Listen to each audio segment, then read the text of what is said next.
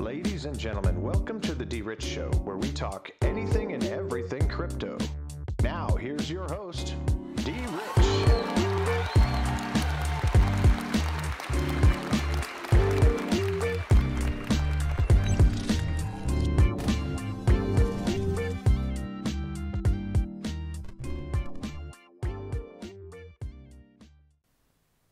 Hey everybody, welcome to the D Rich Show. This is D Rich. Today is January 14th, 2021. Welcome to the show, everyone.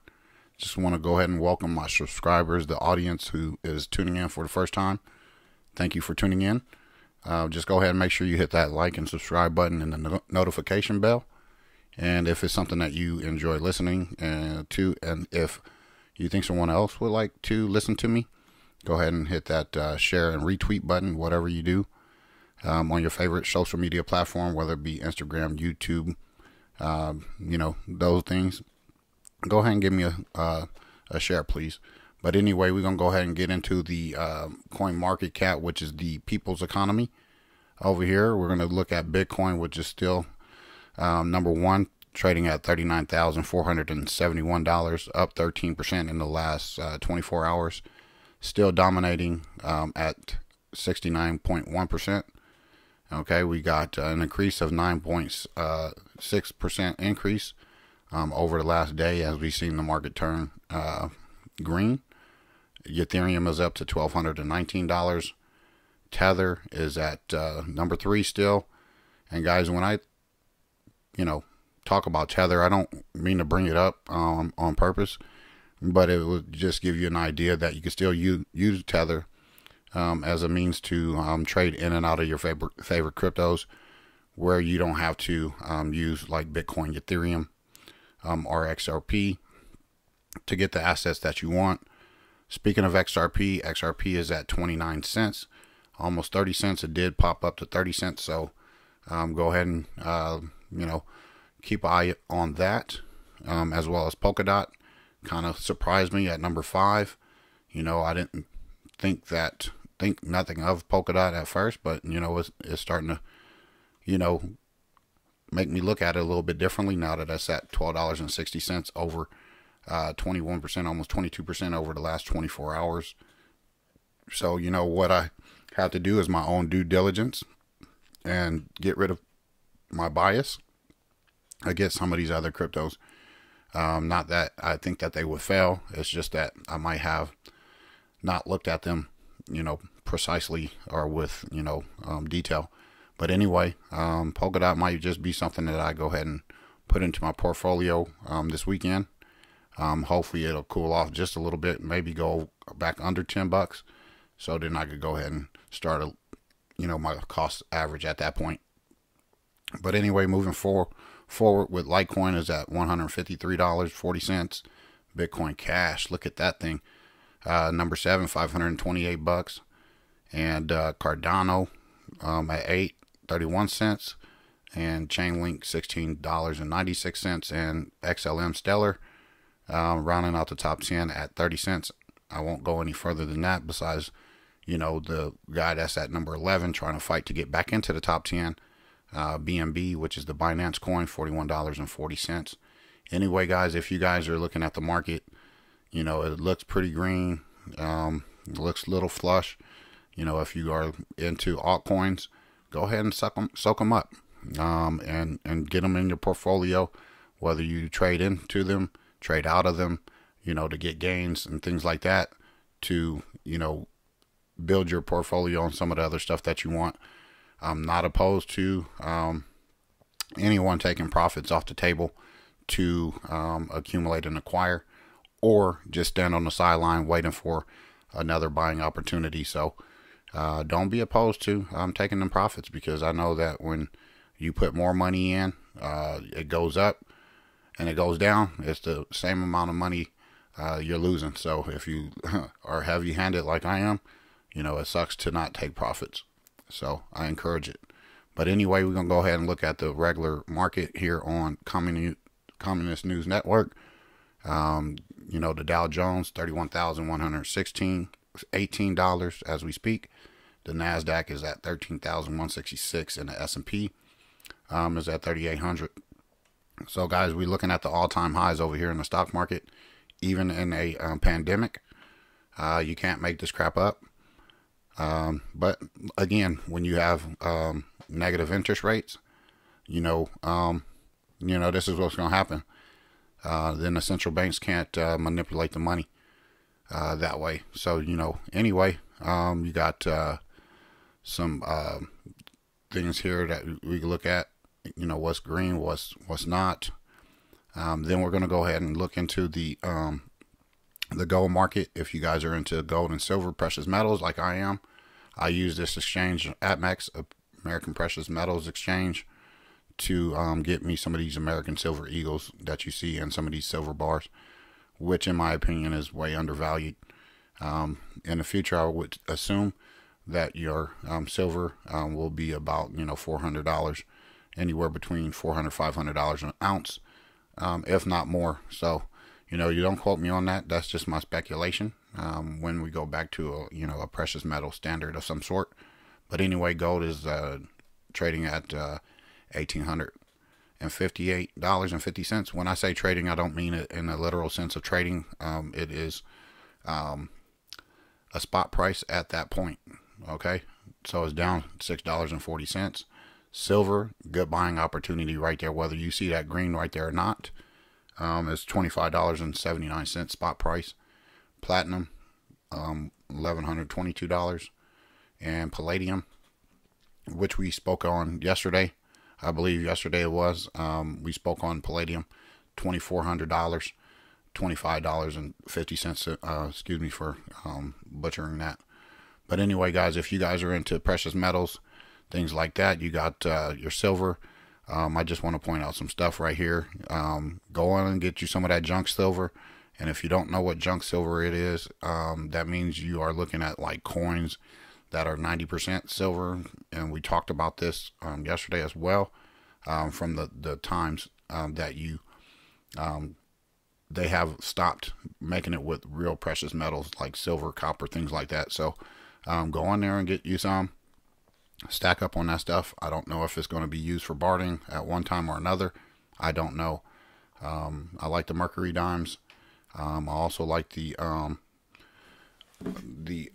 the JFKs, the half dollars. Those are those are some I like, and then these uh, rosies that I like as well. So I add those um, to my um, portfolio. Well, it's not a portfolio, but it's you know my side thing um, that I do. Um, so if you guys are into these things, um, these are good um, store of value, in my opinion, because this is uh, God's money, whether you believe it or not.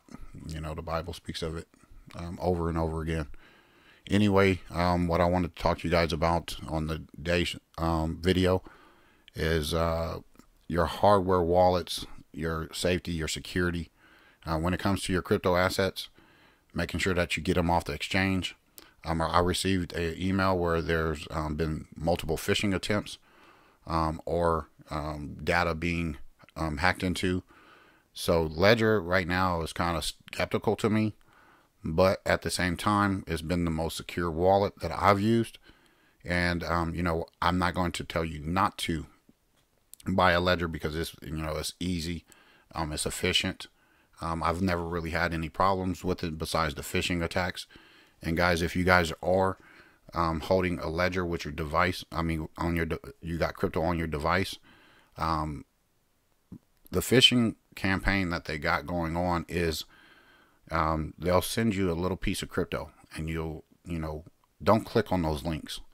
They'll send you like a penny, a couple pennies, twelve pennies, whatever. It's nothing to them, just to try to see if you download that you know that link where it will give you, um, you know, a virus of some sort and they can hack into your stuff. So if you are in there, you know, you get the X or the S. I use the um, Nano S, and I also use it on my phone when I need to. And you can still use that on your phone. You don't need the Wi-Fi one with the Ledger Nano X. Um, if you're into the Ellipal, oh, by the way, before I go for it, um, get you a Ledger on Ledger.com. You know, right now I don't have you know, a code where you can get, you know, a discount or whatnot, but I will be working on that and putting that in the description as well. Um, I don't use a Ellipal. Um, but I have heard um, a bunch of good things um, about the Ellipal. Um, so if you guys want a different wallet, go ahead and do some research about it. I would like to hear about it. If you want to make a comment in the description of the video, I'm all open for new suggestions and ideas to help improve my safety and security um, when it comes to my cold wallet and becoming my own bank. Um, so being your own bank is, you know, probably the most important thing um, that you are going to um, come across um, probably in your lifetime because it requires you to do your own research. It requires you to do um, your active um, diligent due diligence when it comes to making sure you understand how to move in and out of you know exchanges to your wallet to your wallet to the exchange things like that. So this is important that you become your own bank. In other words being in control of your own assets so do yourself a favor get you one of these things um, whether it be that you know the ledger the Ellipal or the trezor i do have a trezor um, i haven't updated it or even put it in use. It's brand new, still in the package. Um, in fact, um, I'll give you a quick story about this uh, this Trezor. So you know, I'll go to um, you know a swap meet, and uh, you know the lady had a bunch of stuff you know on the table, you know electronic wise and things like that, and she had the Trezor in like this box before she you know she unloaded it, and I picked it up and I said, hey, I'll give you you know, 25 bucks for this or whatever. And she asked me straight out, what is this? And I was like, okay, she doesn't really know. And I said, it's kind of like, you know, like a, like a hard drive where you could put data on it or whatnot. And she commenced to tell me I'll, you know, I could pay for it for 10 bucks. Well, I'll give you 10 bucks for it. I offered you 25. All right, I'm going to take it for 10. So I got me a Trezor at the swap meet for 10 bucks and it's still in there, it's brand new, not even open um, or anything. Um, but when you know what you're looking for, when you're out like me um, shopping, you know you gotta find those discounts. So um, uh, maybe one day I'll get it updated and uploaded and see what we got um, with this. But you know that's just another one. You could go to trezor.io for that, and then you could go to ellipal.com as well as ledger.com.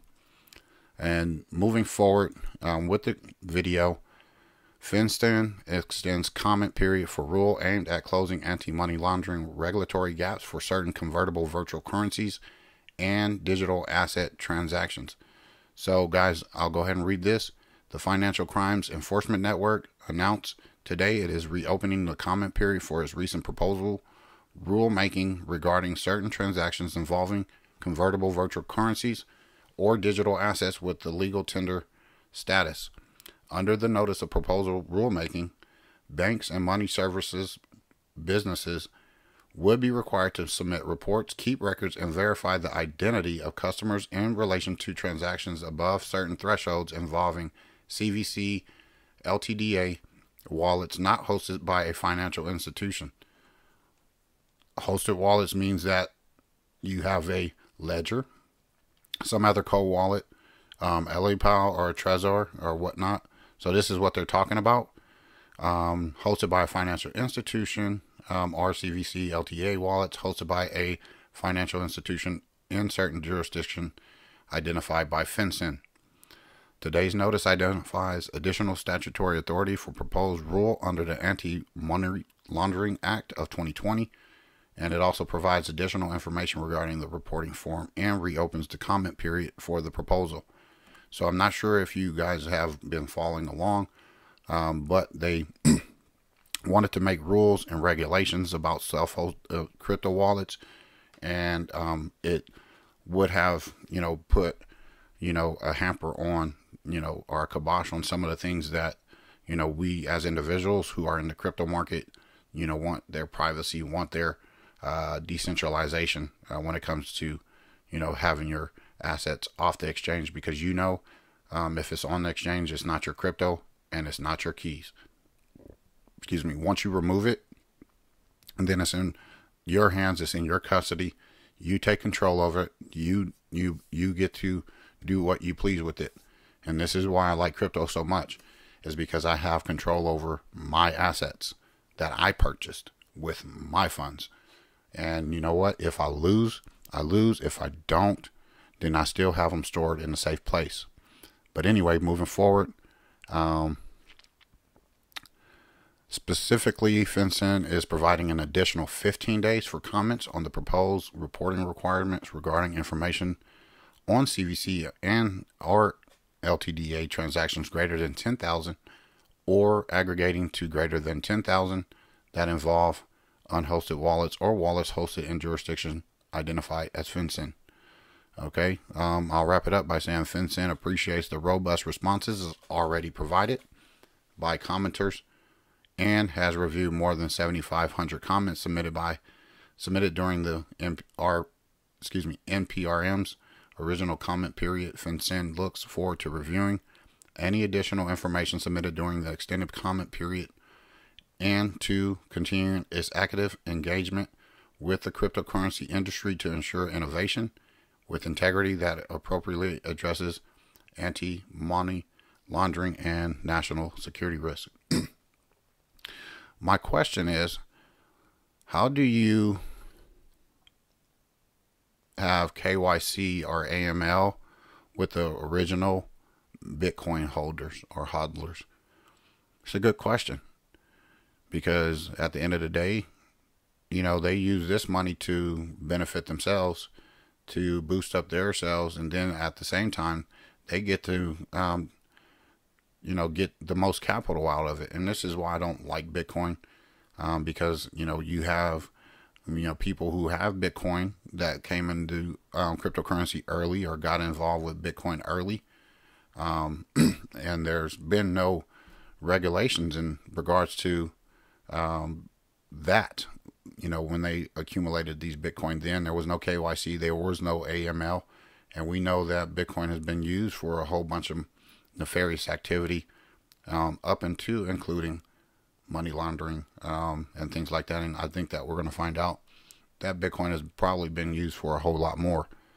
Again, I will always state that I want Bitcoin to be successful.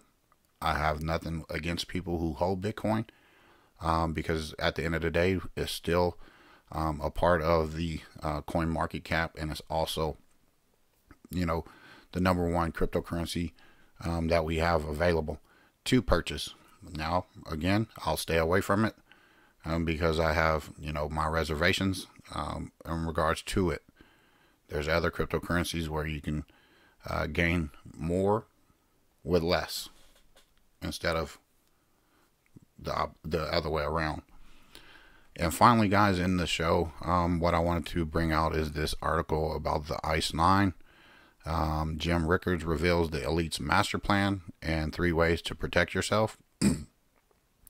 ICE 9 is a polymorph of water of the water molecule, which differs from H2O in two different ways. First, it has a melting point of 114.4 degrees Fahrenheit Second, when ice 9 comes into contact with water molecules, it trans- transforms them into ice 9. This is not what we're getting at. Ice 9 is this down here. It looks like this in theory when it comes to what I just read. Okay, um, Ice 9 is a fine way to describe the power elite response to the next financial crisis. Instead of reliquefying the world, the elites will freeze it this is again why we take our stuff off of the exchanges because if you have money in the bank, you are at their disposal, you are at their mercy, and they can really do whatever they want because they've shown you over and over and over again. They'll take advantage of you, they'll charge you unnecessary fees, overdraft fees, things like that. And this is why I'm starting to see that banks are now offering uh, like you know, say for instance, if you go on a, you buy certain stuff, they'll give you, you know, stuff back. You know, if they're going to give you stuff like that, take it, take it all. It's kind of like you know, Power Piggy, or you know, you get um, interest on your, you know, crypto investments, certain assets, things like that. If they're going to give you stuff for free and you hold those assets, you better believe you better be signing up for them making sure your money is coming back to you like every day, every other two days on my ledger. I have, you know, some crypto assets that get, you know, paid out to, which is like Tezos and things like that. They give me 20, 30 cents almost every other day consistently. And if I hold that there, I don't need to do anything but allow that money to collect and stack up. Anyway, elites Rickard Warrens are preparing for a financial ice nine with no vaccine. They will quarantine your money by locking it inside the financial system until the contagion subsides.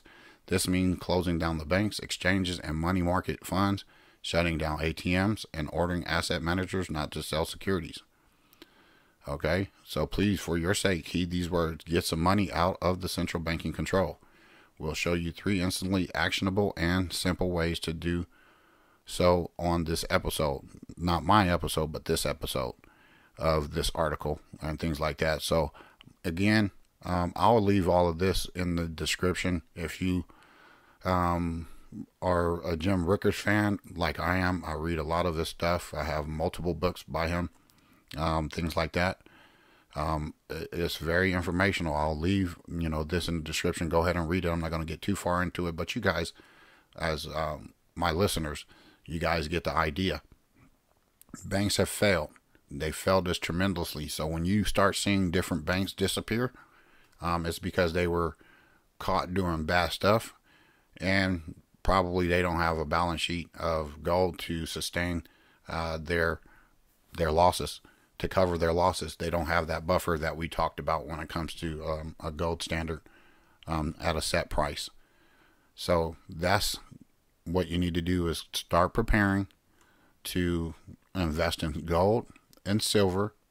Okay, you don't have to go all in at one time. Don't um, don't go in to a point where you're not paying your bills, you're not paying um, your things that are necessities um, if you have, you know, loose change, loose money that you can afford uh, to purchase these things, remember gold, silver, all those precious metals, they're going to be a store of value. The money never will go um, sideways, it will never disappear. You'll always have something.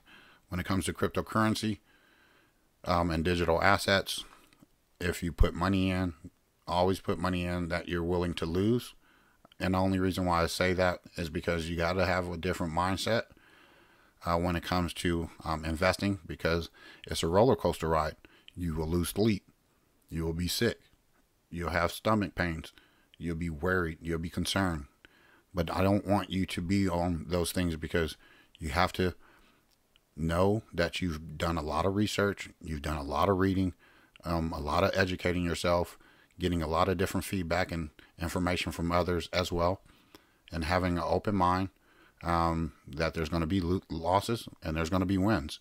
Hopefully, you win more than you lose. Um, but at the end of the day, it is um, imperative that I mention some of these things so you're aware of what you might need to do in order to you know benefit yourself um, outside of you know the banks and things like that because you want to have control and if you want control these are some ways or simple ways to gain control. Since i've been doing this i've been able to snatch my freedom away from them. When i use my bank i only use my bank for certain purposes and certain purposes only. I don't need any money in a bank. I'm a cash guy if cash goes to trash then i'm a cryptocurrency type of guy and i know how to navigate through the market it has to be more um, things that need to occur for the market to be fluid and for everybody to get into the market. But again, we're early, and uh, you could get you get the cherry pick. Some of these ones that are two cents, three cents, not even a penny. I mean, load up on that junk because at the end of the day, even if you think it's a shit coin or a trash coin, whatever you want to call it, hey, listen, I love money. I like money. And I know that as a human being, we have something in common. There's a couple things that we have in common as as human beings. You know what? You don't mess with the kids, and you know what? Everybody wants to have a living. Everybody wants to have money to take care for um, their basic needs and beyond. So we have those things in common. So um, take control of your situation. And if it means stop buying Starbucks, stop buying stupid shoes that you can't even go outside to use right now because we're on some sort of simulated lockdown, depending on where you are. If you are friends of mine, like, you know, we got in Florida, they're up and going. You know what I mean? I heard today that they don't even bother them about wearing masks. They get to go to the gym and they get to see people in the gym without masks. But if you want to wear a mask, great. If not, okay, we should be able to say, like they said for a long time, my body, my choice. But anyway, that's not here nor there. Uh, again, do your due diligence and um, start um, taking control of your situation. Stop going to these places that is unnecessary. Because I, I do it too. I foolishly spend money out of nowhere for nothing. And now, if I have put that money to cryptocurrency or something else, then I st- sit there and I can store that value and then come back. Hopefully, it didn't go down too much. And if it did, then I'm going to dollar cost average. All right. Always remember, I don't know if anything is going to occur when it comes to glitches, blackouts, um, or you know, information um, is going to be shut down. Your Wi-Fi, things like that, where you can't get to it. But there is going to be a um, emergency alert system um, in place just in case those things happen. We don't know what might happen, um, but it's always good for me to tell you to prepare with batteries, water, rice and beans, non perishable items, flashlights, um, candles, you know, a generator. So if you do have a refrigerator, your food doesn't go bad, um, things like that. Those are some good things that you should put on your list. And, you know, one by one, step by step, you know, knock them down and get them off your list. That's the only thing I can encourage you to do. Remember, um, this is not financial advice, and I am not a financial advisor, okay? Anyway, guys, um, that's pretty much my time for today. Um, I'll hit you guys with another video and um, tomorrow, uh, Friday, which is uh, Happy Friday, hopefully. All right. You know, um, I just want everybody to remain positive, remain upbeat, um, and encouraged. And if that means I got to tell you that, and I give you a little spark, um, that's what I'm hoping for. But anyway, ladies and gentlemen, I just want to thank you for guys for tuning in. Um, have a wonderful day. Do some good things. Always fun and exciting. You know, I was able to go out and exercise today for the first time um, in a couple weeks um, because of my schedule. So you know, I, I need those things. You need those things that might help you improve your your um, exercise and your breathing, your whatever. Um, it's always important to get that. Always um, remember those things. Exercise, exercise, exercise. If you don't exercise, at least try to stretch your body out so that your body is loose um, and things like that. Remember, you guys can also follow me on Twitter at drich5531. I'll be again setting up that gab.com. I'm already over there, but the server's a little bit slow because of um, heavy traffic um, BitChute um, as well, and um, some other platforms that I'll be um, also on. If you like listening to just audio, you can find me on Spotify, um, Anchor.fm, Google Podcasts, iTunes, um, those type of listening platforms. remember, it's always going to be the D Rich Show. Always the D Rich Show. We're not going to never navigate from that. Now, there might be additional um, things under the umbrella from the D Rich Show because there's a lot of things that I have in mind that I want to do that will follow fall under that umbrella. And you know, you guys need to stay tuned um, because at the end of the day, we're gonna build and we're gonna build this thing on up, and and your involvement is imperative. And um, we're gonna be doing a lot of um, involvement with you know my community or my subscribers. So um, stay tuned, keep tuning in. You know, again, hit the subscribe button, hit the like button, make sure you hit that notification bell because you know what? I might drop you a video out of nowhere because, you know, I always see things, and if I see things and they're not the truth, um, then, you know, um, I got to point it out. All right? So, anyway, God bless. Excuse me. Let me get this straight. How did I glitch that up? God bless, take care, and guys, always remember to treat everyone with class, dignity, and respect. Bye bye.